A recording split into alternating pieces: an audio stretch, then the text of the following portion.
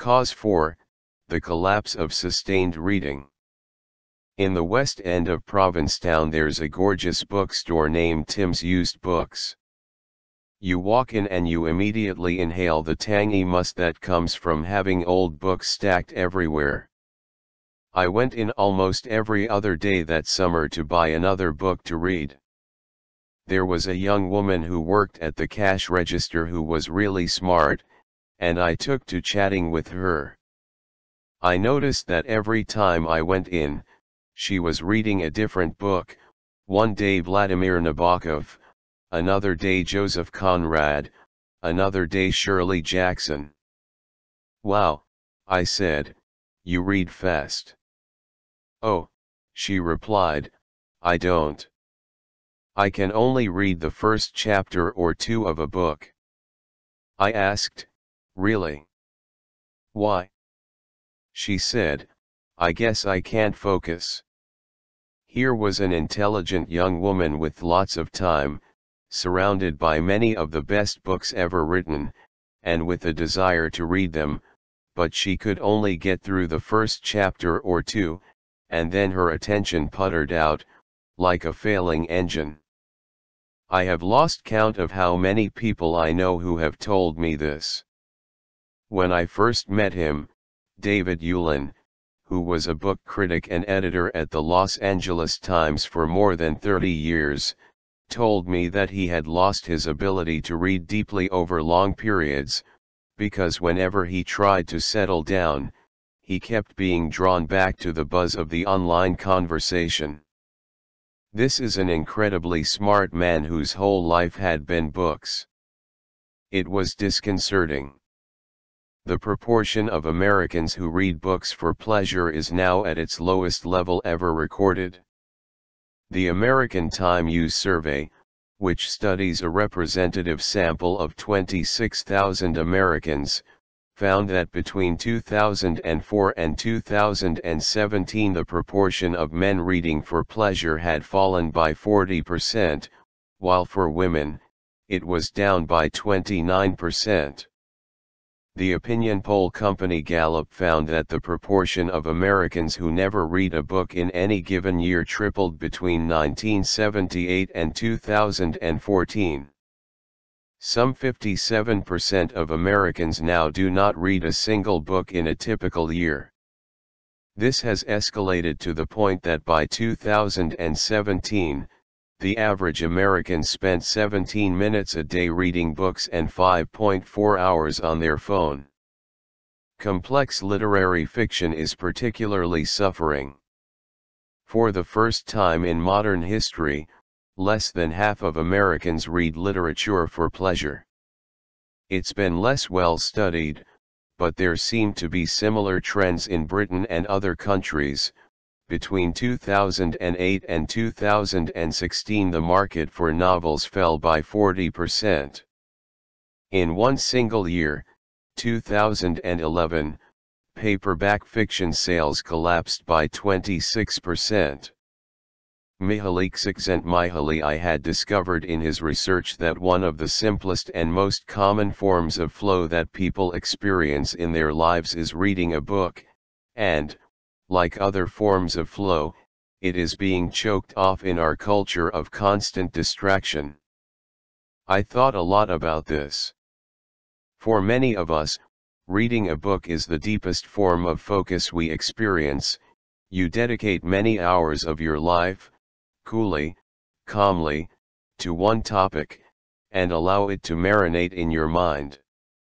This is the medium through which most of the deepest advances in human thought over the past 400 years have been figured out and explained. And that experience is now in free fall. In Provincetown I noticed I wasn't just reading more, I was reading differently.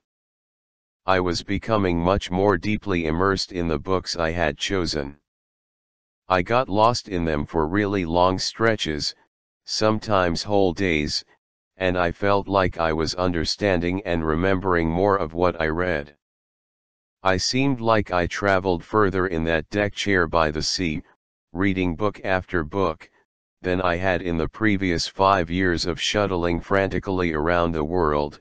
I went from fighting on the battlefields of the Napoleonic Wars, to being an enslaved person in the Deep South, to being an Israeli mother trying to avoid hearing the news that her son has been killed.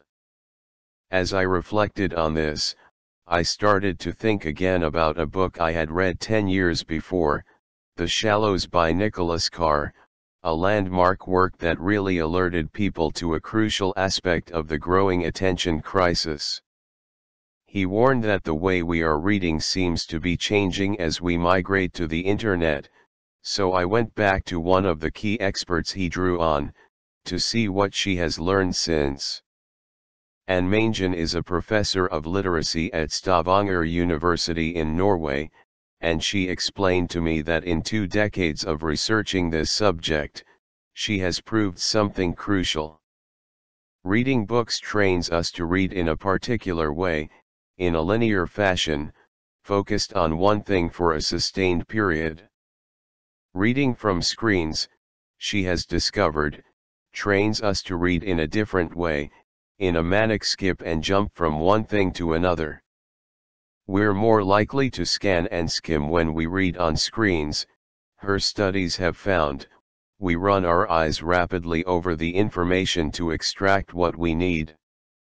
But after a while, if we do this long enough, she told me that this scanning and skimming bleeds over. It also starts to color or influence how we read on paper. That behavior also becomes our default, more or less. It was precisely what I had noticed when I tried to settle into Dickens when I arrived in Provincetown and found myself rushing ahead of him, as if it was a news article and I was trying to push for the key facts. This creates a different relationship with reading.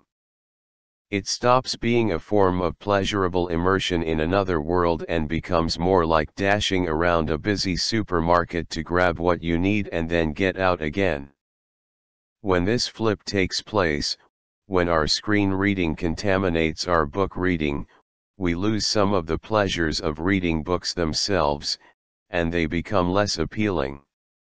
It has other knock-on effects and has conducted studies that split people into two groups, where one is given information in a printed book, and the other is given the same information on a screen. Everyone is then asked questions about what they just read. When you do this, you find that people understand and remember less of what they absorb on screens. There's broad scientific evidence for this now, emerging from 54 studies, and she explained that it's referred to as screen inferiority. This gap in understanding between books and screens is big enough that in elementary school children, it's the equivalent of two-thirds of a year's growth in reading comprehension. As she spoke, I realized that the collapse in reading books is in some ways a symptom of our atrophying attention, and in some ways a cause of it. It's a spiral, as we began to move from books to screens, we started to lose some of the capacity for the deeper reading that comes from books, and that, in turn, made us less likely to read books. It's like when you gain weight, and it gets harder and harder to exercise. As a result, and told me she was worried we are now losing our ability to read long texts anymore, and we are also losing our cognitive patience. And the stamina and the ability to deal with cognitively challenging texts. When I was at Harvard conducting interviews, one professor told me that he struggled to get his students there to read even quite short books, and he increasingly offered them podcasts and YouTube clips they could watch instead. And that's Harvard. I started to wonder what happens to a world where this form of deep focus shrinks so far and so fast. What happens when that deepest layer of thinking becomes available to fewer and fewer people, until it is a small minority interest, like opera or volleyball? As I wandered the streets of Provincetown contemplating some of these questions, I found myself thinking back over a famous idea that I now realized I had never really understood before, one that was also mulled, in a different way, by Nicholas Carr in his book. In the 1960s, the Canadian professor Marshall McLuhan talked a lot about how the arrival of television was transforming the way we see the world. He said these changes were so deep and so profound that it was hard to really see them. When he tried to distill this down into a phrase, he explained that the medium is the message.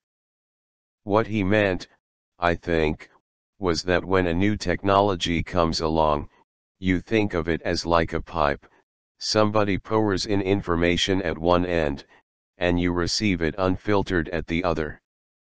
But it's not like that. Every time a new medium comes along, whether it's the invention of the printed book, or TV, or Twitter, and you start to use it, it's like you are putting on a new kind of goggles, each with their own special colors and lenses. Each set of goggles you put on makes you see things differently. So, for example, when you start to watch television, before you absorb the message of any particular TV show, whether it's Wheel of Fortune or The Wire, you start to see the world as being shaped like television itself. That's why McLuhan said that every time a new medium comes along, a new way for humans to communicate, it has buried in it a message. It is gently guiding us to see the world according to a new set of codes. The way information gets to you, McLuhan argued, is more important than the information itself. TV teaches you that the world is fast, that it's about surfaces and appearances, that everything in the world is happening all at once. This made me wonder what the message is that we absorb from social media, and how it compares to the message that we absorb from printed books. I thought first of Twitter. When you log into that site, it doesn't matter whether you are Donald Trump or Bernie Sanders or Bubba the Love Sponge, you are absorbing a message through that medium and sending it out to your followers. What is that message? First, that you shouldn't focus on any one thing for long. The world can and should be understood in short, simple statements of 280 characters. Second, the world should be interpreted and confidently understood very quickly. Third, what matters most is whether people immediately agree with and applaud your short, simple, speedy statements. A successful statement is one that lots of people immediately applaud, an unsuccessful statement is one that people immediately ignore or condemn. When you tweet, before you say anything else, you are saying that at some level you agree with these three premises. You are putting on those goggles and seeing the world through them. How about Facebook? What's the message in that medium? It seems to be first, your life exists to be displayed to other people, and you should be aiming every day to show your friends edited highlights of your life. Second, what matters is whether people immediately like these edited and carefully selective highlights that you spend your life crafting. Third, somebody is your friend if you regularly look at their edited highlight reels, and they look at yours, this is what friendship means. How about Instagram? First, what matters is how you look on the outside. Second, what matters is how you look on the outside. Third, what matters is how you look on the outside. Fourth, what matters is whether people like how you look on the outside. I don't mean this glibly or sarcastically, that really is the message the site offers. I realized one of the key reasons why social media makes me feel so out of joint with the world, and with myself. I think all of these ideas, the messages implicit in these mediums, are wrong. Let's think about Twitter. In fact, the world is complex. To reflect that honestly, you usually need to focus on one thing for a significant amount of time, and you need space to speak at length. Very few things worth saying can be explained in 280 characters. If your response to an idea is immediate, unless you have built up years of expertise on the broader topic, it's most likely going to be shallow and uninteresting. Whether people immediately agree with you is no marker of whether what you are saying is true or right, you have to think for yourself. Reality can only be understood sensibly by adopting the opposite messages to Twitter. The world is complex and requires steady focus to be understood, it needs to be thought about and comprehended slowly, and most important truths will be unpopular when they are first articulated. I realized that the times in my own life when I've been most successful on Twitter, in terms of followers and retweets, are the times when I have been least useful as a human being, when I've been attention deprived, simplistic, vituperative. Of course there are occasional nuggets of insight on the site, but if this becomes your dominant mode of absorbing information, I believe the quality of your thinking will rapidly degrade. The same goes for Instagram. I like looking at pretty people, like everyone else. But to think that life is primarily about these surfaces, getting approval for your six pack or how you look in a bikini, is a recipe for unhappiness.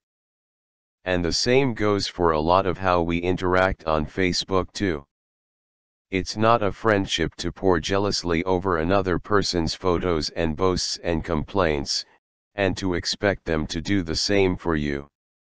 In fact, that's pretty much the opposite of friendship. Being friends is about looking into each other's eyes, doing things together in the world, an endless exchange of gut laughs and bear hugs, joy and grief and dancing. These are all the things Facebook will often drain from you by dominating your time with hollow parodies of friendship. After thinking all this, I would return to the printed books I was piling up against the wall of my beach house. What, I wondered, is the message buried in the medium of the printed book? Before the words convey their specific meaning, the medium of the book tells us several things. Firstly, life is complex, and if you want to understand it, you have to set aside a fair bit of time to think deeply about it. You need to slow down. Secondly, there is a value in leaving behind your other concerns and narrowing down your attention to one thing, sentence after sentence, page after page. Thirdly, it is worth thinking deeply about how other people live and how their minds work. They have complex inner lives just like you. I realized that I agree with the messages in the medium of the book. I think they are true. I think they encourage the best parts of human nature, that a life with lots of episodes of deep focus is a good life. It is why reading books nourishes me and I don't agree with the messages in the medium of social media. I think they primarily feed the uglier and shallower parts of my nature. It is why spending time on these sites, even when, by the rules of the game, I am doing well, gaining likes and followers, leaves me feeling drained and unhappy. I like the person I become when I read a lot of books. I dislike the person I become when I spend a lot of time on social media. But I wondered if I was getting carried away, these were just my hunches, after all, so later, I went to the University of Toronto to interview Raymond Mar, who is a professor of psychology there.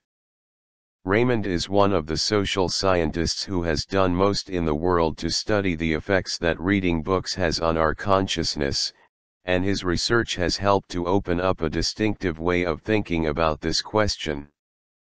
When he was a little boy, Raymond read obsessively, but it had never occurred to him to try to figure out how reading itself might affect the way in which our minds work until he was a grad student, and one day, his mentor, Professor Keith Oatley, put a thought to him.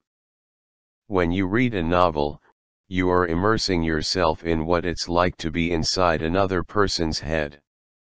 You are simulating a social situation. You are imagining other people and their experiences in a deep and complex way. So maybe, he said, if you read a lot of novels, you will become better at actually understanding other people off the page. Perhaps fiction is a kind of empathy gym, boosting your ability to empathize with other people, which is one of the most rich and precious forms of focus we have. Together, they decided to begin to study this question scientifically. It's a tricky thing to study. Some other scientists had developed a technique where you give somebody a passage to read, and then immediately afterwards you test their empathy. But to Raymond, this was flawed. If reading affects us, it reshapes us over the longer term, it's not like coming up on ecstasy, where you swallow it and experience immediate effects for a few hours. With his colleagues he came up with a clever three-stage experiment, designed to see if this longer-term effect existed. If you took part in the test, you were brought into a lab and you were shown a list of names. Some were famous novelists, some were famous nonfiction writers, and some were random people who aren't writers at all. You were asked to circle the names of the novelists, and then, Separately, you were asked to circle the names of the nonfiction writers. Raymond reasoned that people who had read more novels over their lifetime would be able to recognize the names of more fiction writers. He also now had an interesting comparison group, people who had read a lot of nonfiction books. Then he gave everyone two tests. The first used a technique that's sometimes used to diagnose autism. You are shown lots of pictures of people's eye areas, and you are asked, what is this person thinking? It's a way of measuring how good you are at reading the subtle signals that reveal the emotional state of another person. In the second test, you sat down and watched several videos of real people in real situations like, for example, two men who had just played a squash game talking to each other. You had to figure out, what's going on here? Who won the game? What's the relationship between them? How do they feel? Raymond and the experimenters knew the real answer, and so they could see who, in the test, was best at reading the social signals and figuring it out. When they got the results, they were clear. The more novels you read, the better you were at reading other people's emotions. It was a huge effect. This wasn't just a sign that you were better educated, because, reading nonfiction books, by contrast, had no effect on your empathy. I asked Raymond, why? Reading, he told me, creates a unique form of consciousness. While we're reading, we're directing attention outwards towards the word on the page and, at the same time, enormous amounts of attention is going inwards as we imagine and mentally simulate. It's different from if you just close your eyes and try to imagine something off the top of your head. It's being structured, but our attention is in a very unique place, fluctuating both out towards the page, towards the words, and then inwards, towards what those words represent. It's a way of combining outwardly directed attention and inwardly directed attention. When you read fiction in particular, you imagine what it is like to be another person. You find yourself, he says, trying to understand the different characters, their motivations, their goals, tracking those different things. It's a form of practice. We're probably using the same kinds of cognitive processes that we would use to understand our real peers in the real world.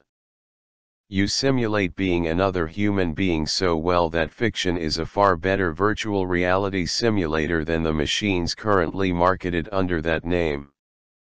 Each of us can only ever experience a small sliver of what it's like to be a human being alive today, Raymond told me, but as you read fiction, you see inside other people's experiences. That doesn't vanish when you put down the novel. When you later meet a person in the real world, you'll be better able to imagine what it's like to be them. Reading a factual account may make you more knowledgeable, but it doesn't have this empathy expanding effect. There have now been dozens of other studies replicating the core effect that Raymond discovered. I asked Raymond what would happen if we discovered a drug that boosted empathy as much as reading fiction has been shown to in his work. If it had no side effects, he said, I think that it would be a very popular drug. The more I talked with him, the more I reflected that empathy is one of the most complex forms of attention we have, and the most precious. Many of the most important advances in human history have been advances in empathy, the realization by at least some white people that other ethnic groups have feelings and abilities and dreams just like them, the realization by some men that the way they have exerted power over women was illegitimate and caused real suffering, the realization by many heterosexuals that gay love is just like straight love. Empathy makes progress possible, and every time you widen human empathy, you open the universe a little more. But, as Raymond is the first to point out, these results can be interpreted in a very different way. It could be that reading fiction, over time, boosts your empathy. But it could also be that people who are already empathetic are simply more drawn to reading novels. This makes his research controversial, and contested.